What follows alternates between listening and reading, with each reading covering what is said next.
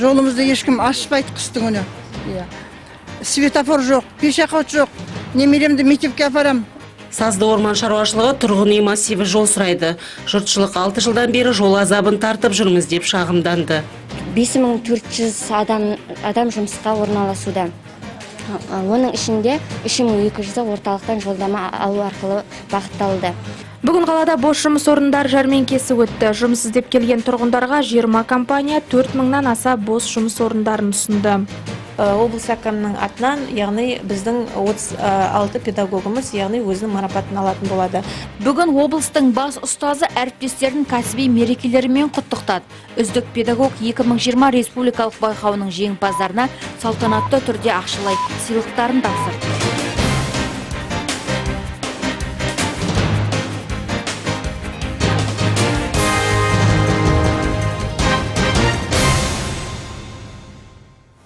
Армысыздар эфирде кешкі жаңалықтар студияда салтанат оңғар.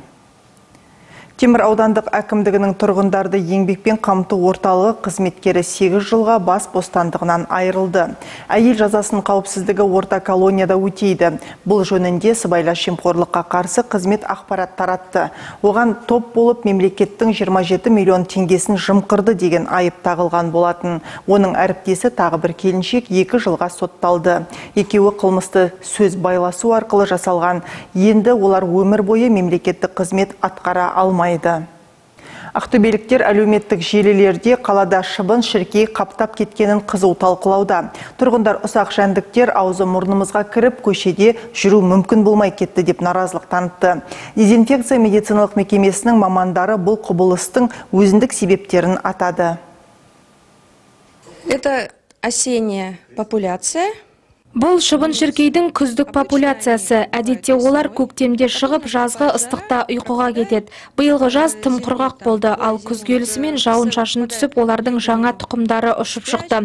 Ауа райының қайта жылып кетуі олар үшін қолайлы болып көбейіп кетіп отыр. Бұл шіркейлердің адамға еш зияны жоқ, шақпайды, өсімдік шырындарымен қоректенеді. Егер жуық арада қатты жел тұрса, онда олар желмен бірге көшіп те кетеді. Ал улаудың еш мәні жоқ. Керісінше улағаннан табиғатқа, қоршаған ортаға зиян көп. 12 мөлдек ауданымен іргелес жатқан сазды орман шаруашылығы тұрғын жай массиві халқы жол азабын тартып жүр. Қала орталығында орналасқан тұрғын үй массивінде атауы жоқ көшелерге асфальт төселіп көрмеген. Екі жылға жуық мәселелерін құзырлы органдарға үздіксіз жеткізіп жүрген жұртшылық биыл жапсарлас жатқан Сәңкібай Батыр даңғылы жөнделгенде дәмеленіп қалған. Бірақ даңғылды жаңғырту жұмыстары аяқталуға жақын. Биылда біздің көшелер ұмыт қалған секілді дейді тұрғындар. Жұлдыз Мирханова тарқатады. Сазды орман шаруашылығы тұрғын массивінде 3 мыңға жуық халық тұрады. Сәңкібай Батыр даңғылы бойының оң жақ бөлігінде орналасқан ұжымда ұзынды қысқалы бірнеше көше бар. Қаладағы ірі өрт сөндіру бекеттерінің бірі орналасқан аймақта жол мәселесі күрделі болып тұр. Көшелерге жарық шамдары орнатылмаған. Дегенмен тұрғындарды қинап жүрген мәселелердің бірі жолдың жоқтығы. Қыста көктайғақтан, көктем мен жаз мезгілінде шалшық су мен саз балшықтан әбден қиналдық дейді олар. Біз деген уже қанша рет айттық қанша рет жаздық осы вопрос шеше алмай жүрміз ол бір екінші мына жерде қаладағы ең үлкен пожарный депо тұр қалада өрт бірдеңе бола қалса солар шығады. Олар оларға да шығу да өте қиын. Балдар бар автобусный маршрут жоқ автобус жүрмейді.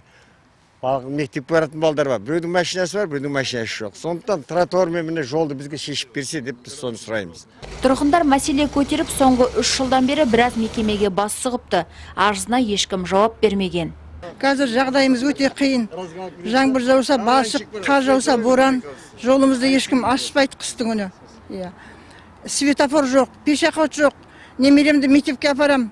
Автобус жоқ 28 сәңкібаймен жүреді ара қашықтығы 40, 40 метр 40, 40 минутта тұрады күтіп.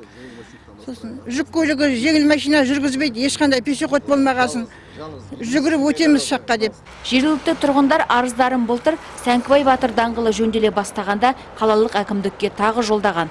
Бұл аумақтың мәселесінен қалалық тұрғын үй коммуналдық шаруашылық, жолаушылар көлігі және автомобиль жолдары бөлімі де хабардар. Ондағылар өтініш қаралып жатыр деп құрғақ жауап берген. Жұлдыз Мирханов, Алексей Оразов, Тәулік. Өңірде карантин талаптарын бұзу директері әлі де тыйылмай отыр. Соған байланысты бақылау жүргізетін мобильді топтардың жұмысы күшейтілді. Өткен наурыз айынан бері санитарлық эпидемиологиялық талаптарды бұзғандарға қатысты 620 хаттама толтырылған. Оның 22 пайызы бетперде киюден жалтыратын адамдарға қатысты. Той садақа жасаған 24 мейрамхана иесіне ірі көлемде айыппұл салынған. Ә, жұмыс ә, істеу уақытын бұзу. Ә, 23-та 5 пайызды 22-да 5 пайыз бұл бетперде кию ә, жаңа тәртібін бұзу. 19-да 5 пайыз әлеуметтік дистанцияларды сақтамау. 4-та 8 пайыз бұл жұмыс істемеу керек объектілердің жұмыс істеу фактілерінің кездесуі болып отыр. Және де тағы басқа фактілер бар. Және сонымен қатар ақтөбе облысының тұрғындары да қазір мерекелік шараларды соның ішінде той садақа ә, басқа да шараларды әлі де жалғастырып жатыр өткізуін.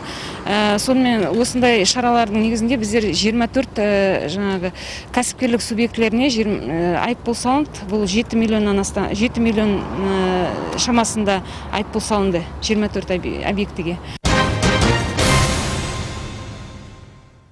Бүгін қалалық жұмыспен қамту және әлеуметтік бағдарламалар бөлімінде бос жұмыс орындарының жәрмеңкесі өтті. Жұмыс іздеп келген тұрғындарға 20 компания 4300 бос жұмыс орындарын ұсынды. Жыл басынан бері үшінші рет өткізіліп отырған бос жұмыс орындары жәрмеңкесінің мақсаты төтенше жағдай режимі мен карантин кезеңінде жұмыссыздық деңгейінің өсуіне жол бермеу. Бүгінгі жәрмеңкеге Ерхат жолдары, мұнайгаз инженеринг, өтес, байсына серіктестері және тағы басқа жұмыс берушілер қатысты. Барлығы 20 компания 4300 бос жұмыс орнын ұсынды. Жалақы көлемі 85 мыңнан 150 мың теңгеге дейін. Ә, жұмыспен қамтудың жол картасы бағдарламасы аясы бойынша 111 мың инфрақұрылымдық жобаға 7300 жаңа жұмыс орындары құрылып ә, халық ә, жұмыспен қамту бағдарламасы арқылы 3685 жұмыссыздар бағытталу- бағытталуға жоспарланған. Қазіргі таңда 103 ә, жобаға ә, 5400 адам, адам жұмысқа орналасуда. Оның ішінде 3200 орталықтан жолдама алу арқылы бағытталды Бүгінгі жәрмеңкеге жұмыс іздеп келген қала тұрғыны Сәуле Исмайлова бірнеше ай бұрын жұмыспен қамту орталығына жұмыссыз ретінде тіркелген. Бүгін жәрмеңкеге келіп жұмыс берушілердің ұсынысын тыңдаған ол 2-3 компанияға шақырту алғанын айтты. Присматривала работу кассира, администратора. Кассир, әкімші, қойма меңгерушісі сынды мамандықтарды қарастырып жүрмін. Мұнда таңдауда ұсынып отырған жалақы мөлшері де жақсы. Жұмысқа апарып әкелу, тамақтандыру бәрі қарастырылған. Бірнеше компанияның мәліметтерін алдым. Енді әңгімелесу кезеңіне барамын. Жұмыс берушілер мен жұмыс іздеушілердің электронды еңбек биржасы порталында бүгінгі таңда Ақтөбе қаласы бойынша 1500 жұм- бос жұмыс орындары мен 3800 түйіндемелер орналастырылған. Ал қалалық жұмыспен қамту орталығында 2906 жұмыссыз тіркелген. Оның ішінде 1267-сі еңбек бағдарламасы аясында қоғамдық жұмыстарға бағытталғандар. Жанар Чапаева, Сергей Калашников, Тәулік. Ақтөбенің үздік ұстаздары анықталды. Республика көлемінде өткен үздік педагог 2020 байқауынан жеңіп шыққан ұстаздарға бүгін облыс әкімдігінде сый құрмет көрсетілді. 2 миллион 700 мың теңге көлемінде ақшалай сыйақыға ие болған ұстаздарға облыстың бас ұстазы Ләззат Оразбаева үздік педагог төс белгісін салтанатты түрде табыстады. Сертификаттар берді.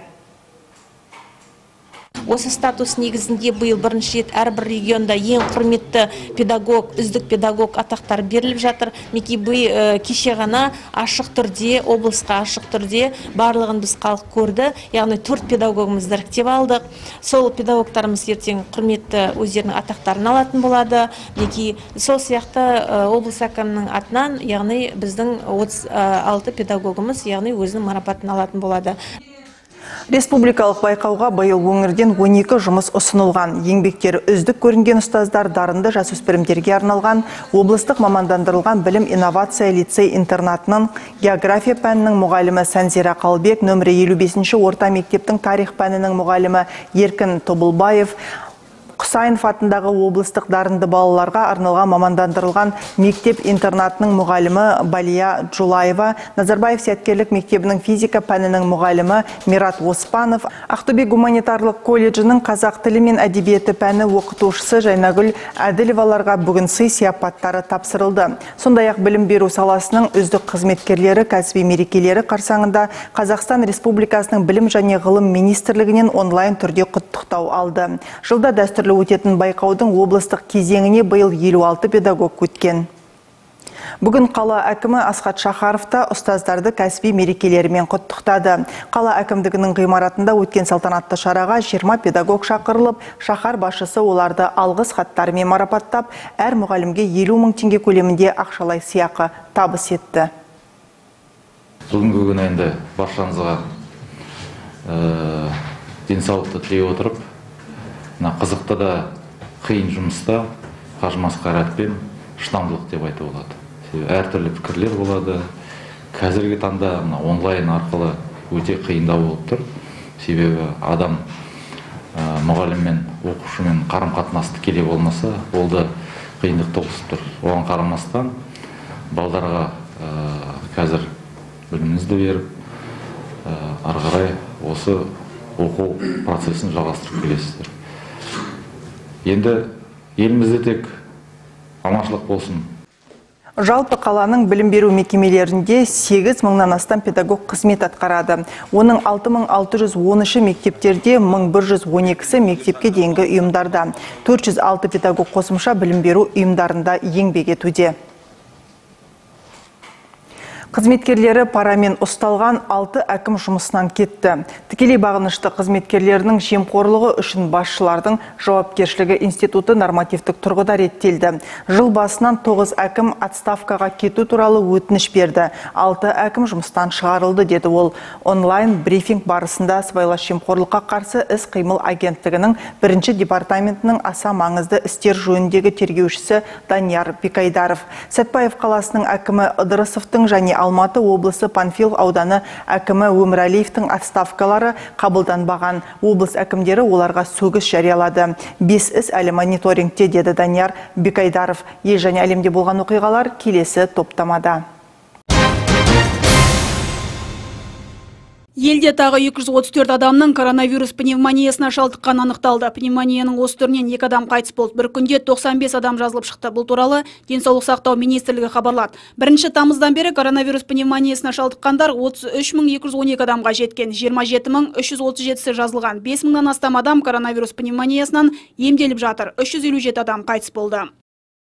Дүйсенбі күні коронавирус жұққаны ПТР теспен расталған науқастар арасында үш адам қайтыс болды. Наурыз айынан бері 1737 адам көз жұмған. Қазір коронавирус ауруына 3279 сырқат емделіп жатыр. 64 бала, 97 адамның жағдайы ауыр, 20 адам жасанды тыныс алу аппаратымен дем алып жатыр. Кеше коронавирус жұқтырған қазақстандықтар саны 65 адамға толықты. Бір күнде 91 адам жазылды. Денсаулық сақтау министрлігінің бүгін таратқан ақпаратында осындай мәлімет айтылады. Елде коронавирус жұққаны ПТР теспен расталған науқастар 108 044 адамға жетті, 90 пайыздан астам жазылған. Еуроодақ жетекшілері Беларусьте тамыз айында өткен президент сайлау қорытындысының бұрмалануы мен наразыларға күш қолдануға жауапты 40 шақты шенеунікке санкция салуды мақұлдады. Кеше түн жарымына дейін созылған саммиттен кейін Еуроодақ басшылары Кипр ұстанымына байланысты пайда болған дипломатиялық келіспеушіліктерді шешіп, Беларуське санкция салуға келісті. Бұған дейін Кипр жерорта теңізіндегі қайраңның даулы аумағында бұрғылау жұмыстарын жүргізіп жатқан жеті түрік компаниясына шектеу қоймайынша одақтың Беларусь билігіне санкция салу туралы ортақ шешімін қолдаудан бас тартатынын айтқан еді. Біз бүгін санкция салуды мақұлдадық деді Еуропа кеңесінің президенті Чарльз Мишель. Оның айтуынша Беларусьтың 40 шақты шенеунігіне санкция салуды қарастыратын арнайы процедура бүгін басталды. Бірақ 9 тамызда өткен президент сайлауында өзін жеңдім деп есептейтін Александр Лукашенко санкция салынған шенеуніктер арасында жоқ. Еуроодақ дипломаттар оны тізімге кейінірек енгізуі мүмкін екенін айтты. Әзірбайжан мен Армения қақтығысып жатқан таулы Қарабақ аймағында екі француз журналисті қатты жараланды. Францияның ресми орындары кеше осылай деп хабарлады. Сыртқы істер министр журналистерді елге барынша жедел жеткізуге тырысып жатыр деді Франция президенті Эммануэль Макрон. Медициналық ұшақ дайын тұр, журналистерді эвакуациялар алдында олардың жағдайын тұрақты етуге күш саламыз деді Макрон. Алайда өзін республика деп жариялаған таулы Қарабақ билігі Лемонды басылымның екі тілшісінің жағдайы ауыр екенін, жергілікті дәрігерлер операция жасағанын айтқан. Олар тілшілерді Армения астанасы Еревандағы ауруханаға жеткізу кетуі мүмкін екенін де хабарлаған. Армения сыртқы істер министрінің айтуынша әзербайжан күштері мартуни қаласын атқылаған кезде екі тілшіге оқ тиіп қатты жарақаттанған. Бұған дейін monde басылымы да бұл ақпаратты растаған. Басылымның редакторы люк броннер рейтерс агенттігіне берген сұхбатында бір тілші мен фототілшінің жараланғанын растады. Аты жөндерін айтпаған әзербайжан тарапы ақпаратты растамады. Франция президенті Эммануэль Макрон Еуропадағы қауіпсіздік және ынтымақтастық ұйымы Минск тобының тең төрағалар таяу уақытта Таулы Қарабақ бойынша бірқатар бастама көтеретінін айтты деп хабарлайды РИА Новости. Сонымен қатар Макрон 300 содырдың Түркия арқылы Бакуге жету үшін Сириядан кеткенін растаймын деді. Оның айтуынша Бакуге жіберілген содырлар Сирияның Алеппо аймағында жұмыс істейтін жихадшылар тобының мүшелері. Тағы бір осындай топ Әзербайжанға баруға дайын. Ресей қауіпсіздік кеңесі бұған дейін шетелдік қарулы содырлардың Қарабақ қақтығысына қатысуы айрықша қауіпті екенін атап өткен болатын. Ақш президенті дональд трамп пен әйелі мелания трамп коронавирус жұқтырды. Бұл жайында америка президенті твиттер парақшасында хабарлады. Бүгін мелания трамп екеуміздің коронавирус инфекциясына тапсырған сынақ оң нәтиже көрсетті. Біз карантинге шығып қалыпқа келе бастаймыз. Біз бұл кезеңін бірге өткіземіз деп жазды дональд трамп. Бұған дейін ақш президентінің кеңесшісі хоуп хикстің коронавирус жұқтырғанын жаз кейін жары екеуінің сынақ нәтижесін күтіп отырғанын хабарлады. Айта кетсек 2020 жылдың үшінші қарашасында ақшта президент сайлауы өтеді. 78 жастағы трамптың басты қарсыласы ақштың бұрынғы вице президенті джо байден. 29 қыркүйекте дональд трамп пен джо байден алғашқы теледебат өткізді. Олар медицинадағы реформаны коронавирус пандемиясын жоғары соттың жаңа судьясын тағайындау нәсілшілдік тақырыбын талқылады. Елде кезекші сыныптарда бала оқытқан 697 мектептің 134-інде санитарлық нормалардың бұзылған анықталды. Бұл туралы кеше Қазақстан Республикасы премьер-министрінің орынбасары Ералы Тоғжановтың төрағалығымен өткен ведомствоаралық комиссияның отырысында айтылды деп хабарлайды Қазақпарат. Тексеру кезінде көптеген мектептерде пайдаланылған жеке қорғаныс құралдарын жинауға және жоюға арналған арнайы қоқыс жәшіктерінің және мектеп ішінде жүру кезінде арақашықты сақтауды қамтамасыз ететін белгілердің болмаған анықталды. Сондай-ақ қызметкерлердің бетперде режимін сақтамау деректері кездесті. Мұғалімдер мен оқушыларға термометрия жүргізілмеген санитайзерлердің жетіспеушілігімен жеткіліксіз мөлшерде екендігі анықталды. Кей мектепте медицина қызметкері жоқ ақтөбе және өзге қалалардағы 29 мектепте бактерицидті шамдар жоқ. Ералы тоғжанов әкімдерге мәселені реттеуді тапсырды. Бесінші қазаннан мектептерді ерекше тәртіп бойынша тексеру жұмыстары басталады. Нұр отан партиясының төрағасы Нұрсұлтан Назарбаев праймериздегі онлайн дауыс беруге қатысты. Бұл туралы елбасының Инстаграм парақшасынан мәлім болды деп хабарлайды Қазақпарат. Елбасы ішкі партиялық іріктеуге қатысушылардың үгіт насихат жұмыстарын және қоғамдық пікірталастарды мұқият бақылағанын атап өтті. Қазақстанның тұңғыш президенті үгіт насихат пен пікірталастар кезінде партия назарға алуға тиіс бірқатар конструктивті ұсыныстар айтылғанына тоқталды. Нұрсұлтан Назарбаев барлық партия мүшелерін дауыс беруге белсенді қатысуға шақырды делінген хабарламада. Шағын жарнамалық үзілістен соң көретін ақпараттар легіне назар аударыңыздар. Жұбанов университетіне 85 жыл, білім ордасы жыл бойы 85 түрлі игі іс атқармақ. Тұмауға қарсы тұрғындарды вакцинациялау жалғасып жатыр. Бүгін Рика ТВ ұжымы екпе салдыртты.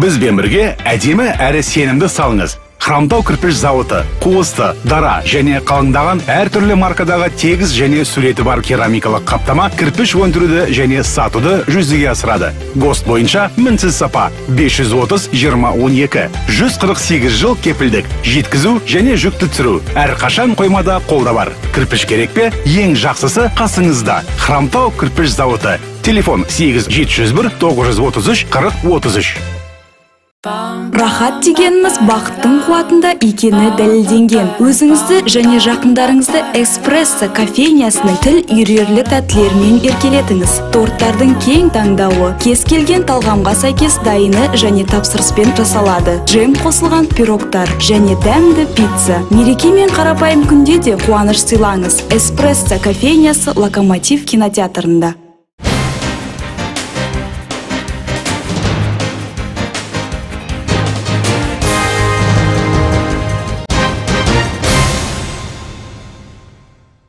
Расширьте возможности вашей рекламы. Новая услуга «Реклама с QR-кодом». Это возможность перехода в один клик на ваш сайт или страничку в Инстаграм при просмотре ролика на Рика ТВ или баннера в газете Эврика. Все, что нужно, навести смартфон. Смотри, сканируй, заходи. Рекламная служба медиагруппы Рика. Звоните 220 250 222 300.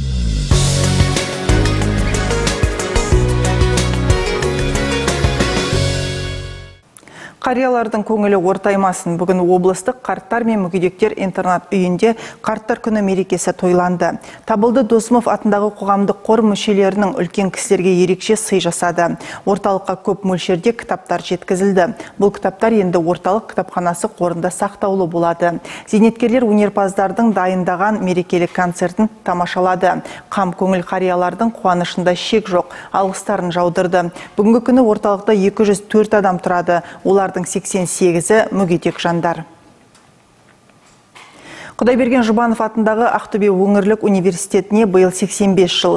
Жоғарғы оқу орны қабырғасында мерейтой аясында 85 түрлі игі шара атқару қолға алынған.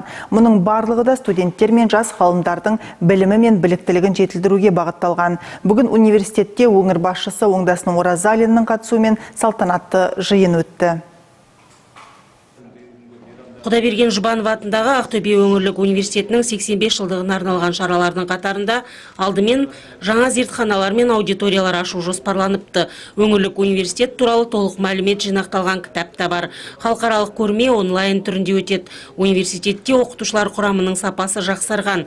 Профессор оқытушылар құрамының жартысы ғылым докторлары. Университет 78 бакалавриат, 40 магистратура және 6 докторантура мамандықтары бойынша білім береді диссертациялық кеңестер жұмыс істейді.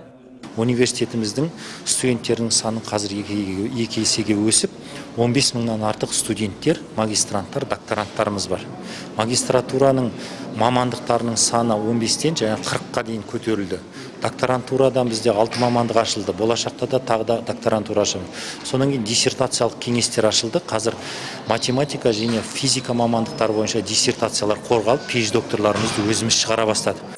Университет түлектерінің 95 пайызы жұмысқа орналасып кетеді. Бүгінде университет әлемнің 150-ге жуық жоғарғы оқу орнымен ынтымақтастық байланыс орнатқан. Жоғарғы оқу орны ғимараты да жаңа заманға сай жасақталыпты.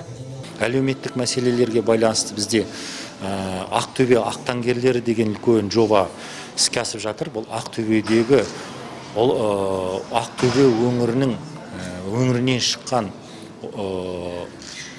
белгілі тұлғаларды насихаттау. Екінші бір біздің үлкен жобаларымыздың бірі ақтөбе ақбөкендер мекені деп аталады.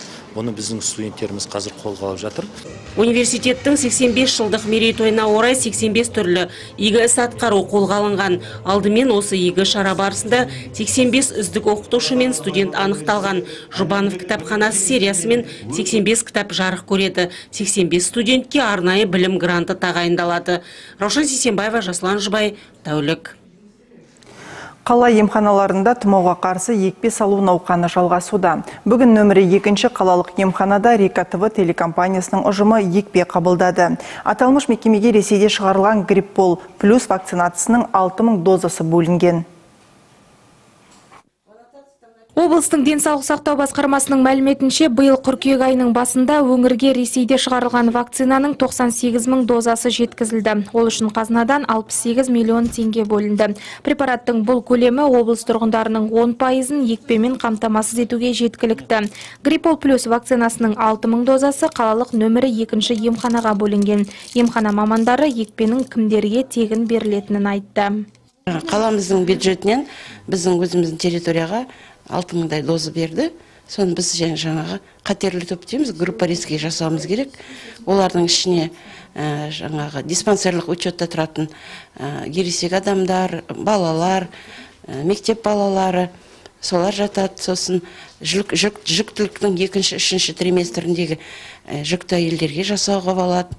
Назар аударатын жайт вакциналау оған қарсы көрсеткіштері бар адамдарға жасалмайды. Егер ағзада өткір вирустық инфекция болса, онда екпе алуға болмайды. Сондай-ақ созылмалы аурулардың өршуі кезінде де вакцинациядан уақытша бас тартуға тура келеді. Атап өтейік, қыркүйектің 15-інде басталған тұмауға қарсы екпе егу науқаны қарашаның 15-іне дейін жүргізіледі. Жанар Чапаева, Алексей Оразов, Тәулік.